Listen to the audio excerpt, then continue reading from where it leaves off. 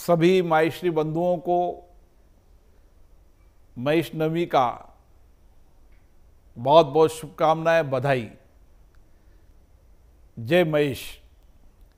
इस पवित्र दिन पर मैं भगवान महेश का वंदन करता हूँ।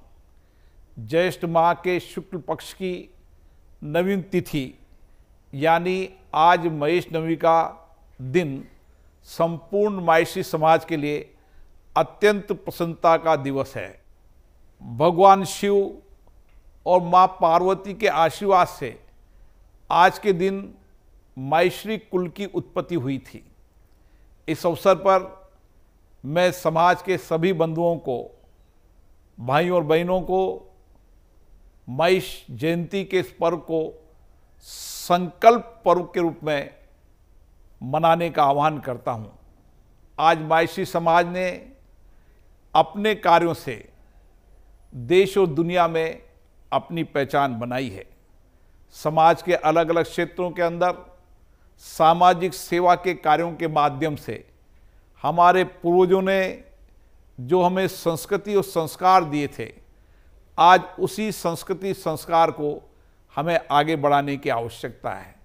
हमारे युवाओं ने भी अलग अलग क्षेत्रों में उत्कृष्ट कार्य कर कर समाज और देश का गौरव बढ़ाया है।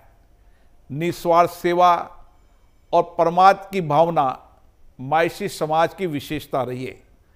कोरोना महामारी के कठिन समय में भी समाज के लोगों के तत्परता से मानवता की सेवा की थी, जिसके लिए मैं सबको साधुवाद देता हूँ।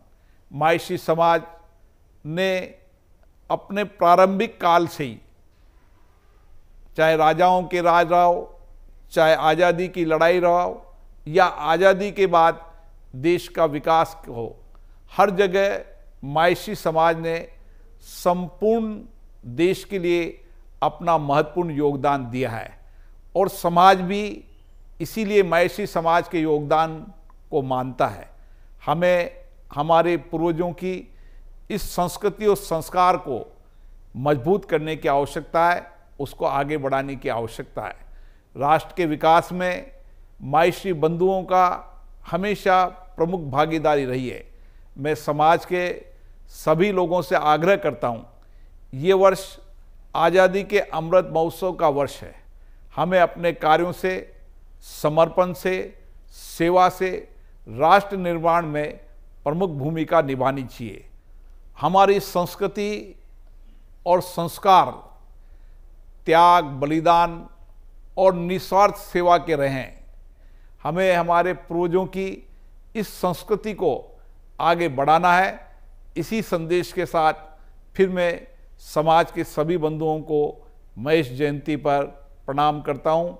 महेश जयंती के इस अवसर पर मायसी समाज में और संपूर्ण समाज और देश में कुशाली प्रगति हो और उस कुशाली प्रगति में महेशी समाज का योगदान रहे, भगवान महेश की कृपा हम पर इसी तरीके से बना रहे, और सबका कल्याण हो। जय महेश, धन्यवाद।